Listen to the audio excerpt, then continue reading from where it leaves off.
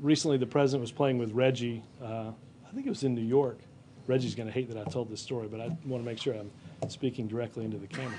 Um, and uh, um, I think Reggie came back across the street, and the pool asked him what had happened, and he said he couldn't say anything because I had told him he couldn't talk to the press.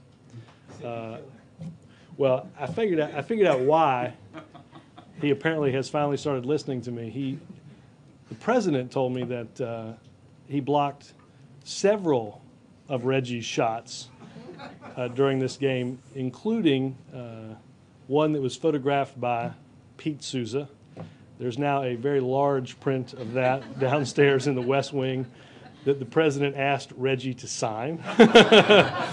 and it is uh, prominently displayed um, for both Reggie uh, and I think more importantly the president's uh, enjoyment uh, as he walks to and from meetings. Yeah,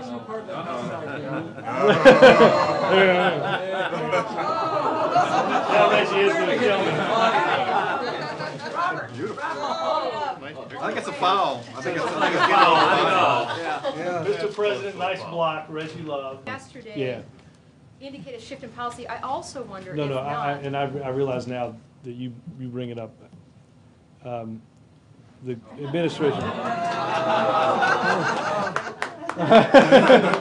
What are you, what are you talking about? What are you, I don't know what, I don't know what you're, I don't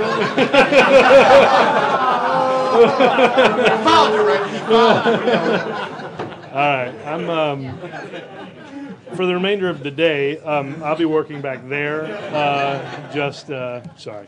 Um, uh, I'm in trouble now.